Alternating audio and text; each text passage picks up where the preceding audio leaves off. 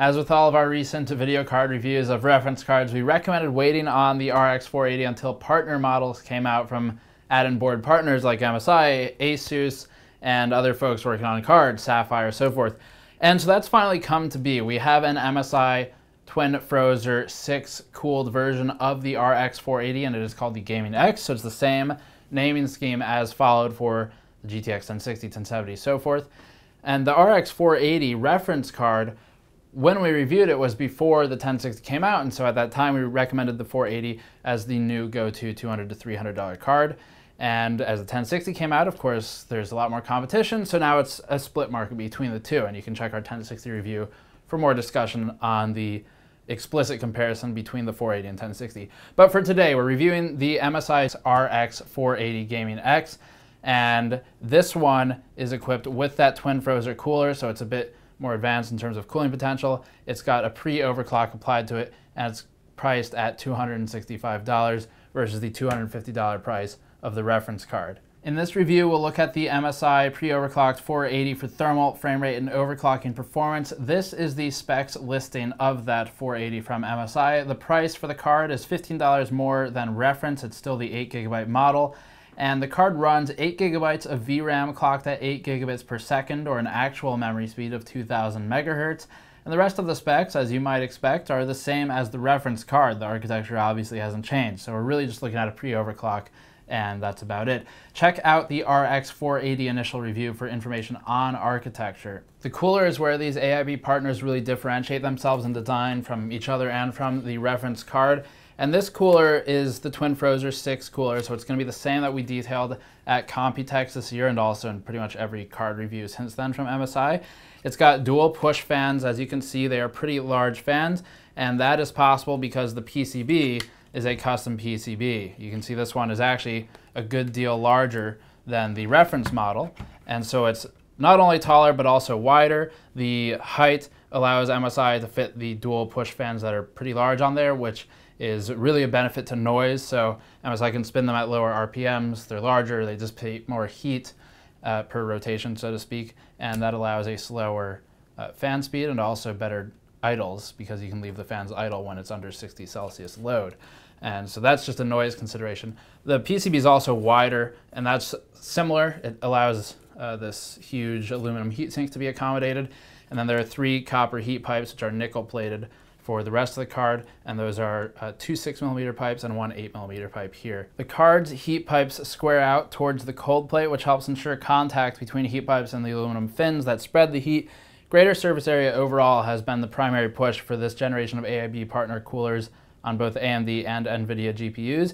And the coolers, two 6 millimeter and one 8 millimeter heat pipe, are rounded on the outside, but uh, they do square out towards the middle. A base plate sits under the cooler, making contact to the FETs and helping with VRM dissipation, but also providing structural support in conjunction with the flanking backplate. And you can actually, if you look in the side, see some of the chokes sticking up from that base plate. Let's get to some testing. The bench you're looking at on the screen now is our test platform and our full testing methodology is defined in great depth on the website as always. You can hit that below if you want to read more. And you can also search the channel for 1% lows or for delta T if you want to learn more about what either of these measurements for FPS and temperature mean. The peak average temperature of the MSI RX 480 Gaming X using MSI's updated Twin Frozr 6 cooler posts a load output of 46.16 Celsius with an idle of 7.54 Celsius, and that's sustained entirely with passive cooling when doing idle. Most AIB partners, including EVGA, Asus, Gigabyte, MSI, and most of the others at this point, will spin down to 0 RPM when under minimal load, thus resorting to passive heatsink cooling. This is versus the reference cooler for the RX 480. The MSI RX 480 Gaming X posts about 10 degrees Celsius cooler performance overall versus the RX 480 reference from AMD, and that performance improvement is in line with our previous tests of AIB partner coolers versus the reference designs. Here's the over time chart. This shows temperature versus time, so it's the same data as the previous chart, but presented differently. For full over time charts, fan RPMs, things like that, check the link in the description below. As for our endurance tests, we saw nearly perfectly flat frequency output, and that's what we want to see. The frequency is able to maintain its defined setting by MSI, that pre-overclock, with greater stability than even the reference card was able to maintain a lower clock rate, and that's because of the improved thermal solution. Compared to the endurance of the RX 480 reference card, the MSI Gaming X rendition of the product is greatly improved in clock rate stability and in temperatures. And as always, for more thermal analysis, check the link in the description below. Before getting into FPS for this card, a quick important note. We posted a video about 16.7.3, the new AMD update to its Radeon settings and driver package for the RX 480 and other cards. And we were having a lot of issues with that driver set when we were actually testing this card, which of course video rolls out slightly after, so things may change by the time you see the video. But the relevant point here is that we didn't use 16.7.3 for benchmarking because it was just not stable for what we were doing with the RX 480. And so we ended up just using the same driver packages we've been using for the last few reviews, which will be updated as soon as something stable comes out. So we're on 16.7.2, which is equivalent to 16.7.1, except it was the internal version. 16.7.2 for GTA 5 and for Doom, which supports the Vulkan update, and run the original launch drivers, which I believe were 16.6.2 for every other game on the bench. And as always, we'll update once the drivers are updated properly. Let's start with GTA 5 at 1080p. The MSI RX 480 Gaming X pre-overclocked to 1303 MHz managed a frame rate of 88 FPS average with 1% lows at 63 and 0.1% lows not far behind. Looking at the reference RX 480 clocked at 1266 MHz boost, we see an 85.3 FPS average, so not a huge gain, but it does at least post a difference of 3.1%. For reference, the reference GTX 1060 rests at around 95 FPS average with 67 FPS 1% lows, and that's a difference of 7.6% from the MSI RX 480. We haven't fully tested our suite at 1440p with GTA 5, but just as a quick note here, we were hitting 64 FPS average, 45 FPS 1% low, and 39 0.1% lows with the MSI version of the RX 480. Black Ops 3 tends to show more favorable performance on AMD hardware, which makes it an interesting benchmark title. The game is also exceptionally well optimized for its graphics quality and routinely exceeds 100 FPS at 1080p high. At 1080p, again high, the MSI RX 480 hits 144 FPS average with a 117 FPS 1% low and 111 FPS 0.1% low. And that's a good gain over the reference RX 480, which is at 132 FPS average. So 132 versus 144, equating a difference of 8.5%. Black Ops 3 is a fairly clock intensive game, which is evident here. And in this instance, the AIB partner cards are enough of a jump with the pre-OC that it differentiates between 144 Hz gaming and just under that. For reference, the GTX 1060 Founders Edition card runs at 122 FPS average at 1080p. At 1440p, the MSI RX 480 maintains a 91 FPS average, still fully playable, with lows exceeding 60 FPS, and the reference card sits at around 83 FPS average, so a bit more than 7 FPS difference between the two. Our 4 gigabyte unit had some 0.1% low frame time issues with Black Ops 3 at 1440p, but was still at 80 FPS average. For reference, again, the GTX 1060 Founders Edition is at 78 FPS average, and that's just above the GTX 970 SSC, or super clocked, or as they might call it, super super clocked version of the card. For the curious, the MSI RX 480 was bumping 45 FPS average at 4K high, so you'd want to be at 1440p or lower resolution for optimal play, or you'd have to seriously tank your settings. Because in Black Ops 3, with this setup, because the 0.1% lows were suboptimal, the RX 480, even from MSI, was choppy in Black Ops 3. Up next, Doom. Note that we're hoping to conduct more Doom tests in the future with Vulkan and async compute, and that'll be in the near future, but we're backlogged on GPU reviews right now. In the meantime, we're looking at Doom with OpenGL and Vulkan to quickly test API scalability within the game. At 1080p, the MSI RX 480 performs a couple FPS better than the reference card, as Doom is less clock rate intensive than some of our other titles we've tested, and the Gaming X480 is at 87 FPS versus 85 of the reference card. Lows are comparable. The GTX 1060 is the one to keep an eye on here, by the way, is at 98.3 FPS average with OpenGL, marking a reasonable lead over the RX 480. Let's switch though to the chart with Vulkan and OpenGL simultaneously. With Vulkan, this story sort of changes. The RX 480 now operates at 111 FPS average, with the MSI version of the card at 118.5 FPS average. The GTX 1060 FE posts nearly identical performance to its OpenGL output, at 97.9 FPS and is now behind the RX 480s in performance. So they've traded. 1440p is a similar story. Looking at our OpenGL only chart, we see the MSI RX 480 is a couple FPS faster than the reference card, posting about a 5% difference. Both cards are behind the 1060FE's 66 FPS average and higher low metrics in this chart. But looking at Vulkan and OpenGL, the MSI RX 480 Gaming X is now at nearly 80 FPS with the reference card at almost 74 FPS average. The GTX 1060 Gaming X from MSI is at almost 70 FPS. These new APIs are still finding their way into games and still working on optimization, so there's a bit of difference between how they perform right now but it'll be interesting to observe performance as game developers start making the switch over from the last gen APIs to support next gen only builds. Moving on to Mirror's Edge Catalyst 1080p Ultra has the MSI RX 480 Gaming X operating at 78.7 FPS average with poorly timed 0.1% lows at 35.7 FPS.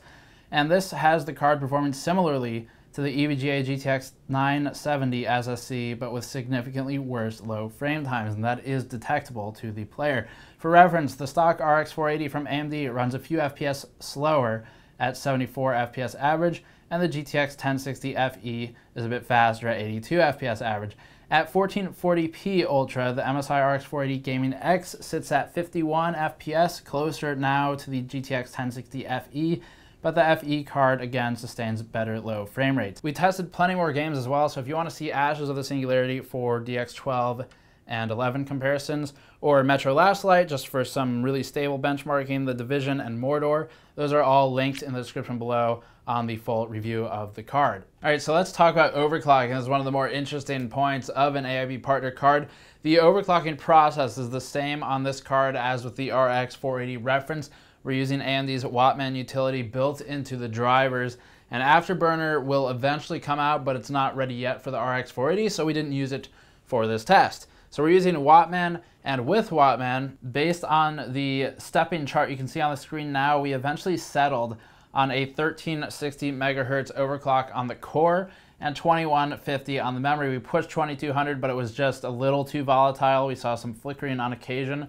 Didn't do a hard crash, but it did flicker, and that's not stable. And when we pushed the 1370 megahertz, same thing. It would hard crash or it would flicker. So we settled 1360 and 2150. Note here that the MSI RX 480 can push to 1160 millivolts, while the reference card can only do 1150. So that is also useful for stability. We measured the maximum GPU draw at 240 watts when fully overclocked and that's not the card draw, that's the GPU draw. So with the card, you add a bit extra for the memory and things like that, 40 or 50 watts more, depending on power target, memory overclock, and all that stuff. Results are what you see on the screen now in terms of the actual FPS performance.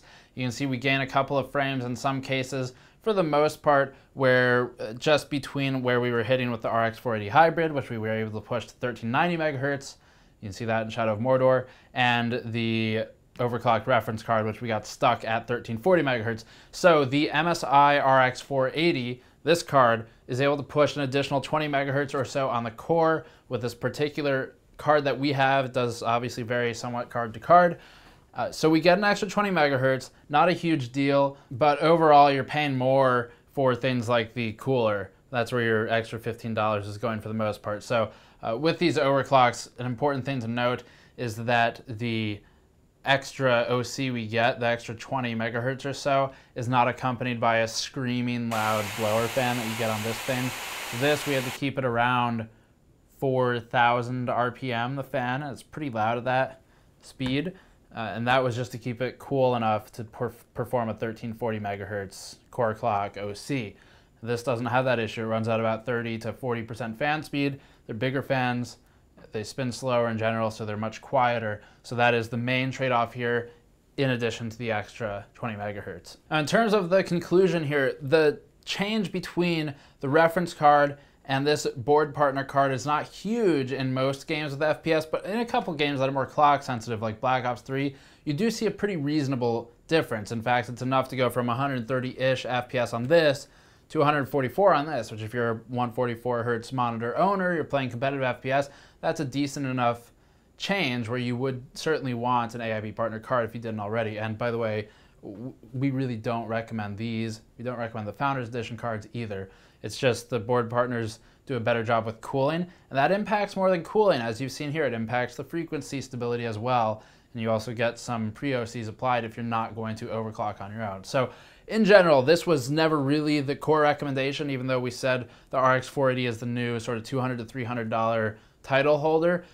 As stated in that video, we are indicating more for the partner models. Now, here's the thing. This is $265. So at 265, you're encroaching on territory of a lot of the GTX 1060 market, and that's a pretty powerful performer as well. They are very tightly tied in some games. The 1060 tends to outperform the RX 480 in a good deal of games. The RX 480 tends to outperform the 1060 in a good deal of games. It just depends on what you're looking at.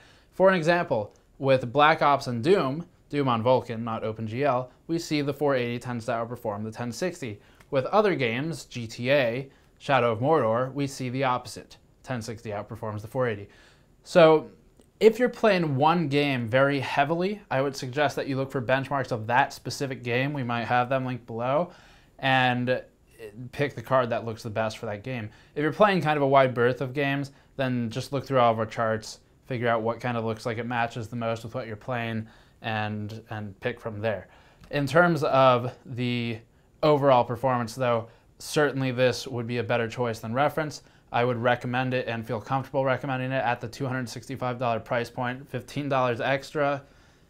Not terrible. It's certainly within the, oh, it's only $15 extra sort of margin where you feel like you're pushing the budget a bit, but for the better cooler, much greater silence, and slight better overclocking potential, though not a huge amount, it is worth it in, in my opinion and in the opinion of the folks at the site like Mike who helped me test these cards. The 1060 is your most immediate option to look at in consideration. We would recommend looking at the EVGA 1060 SC, review on that coming hopefully soon. And of course the RX 470 is coming out very soon. We already published the release date on that as August 4th.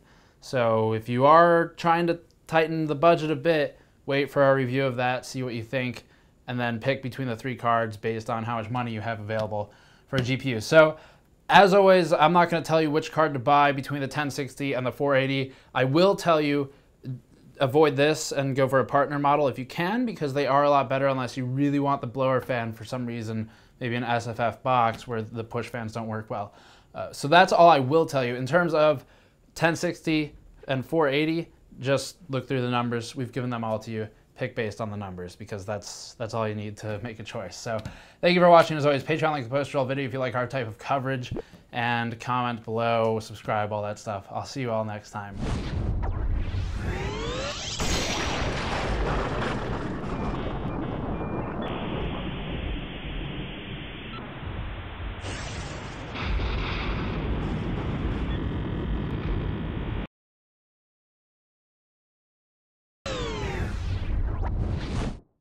There's another video card out.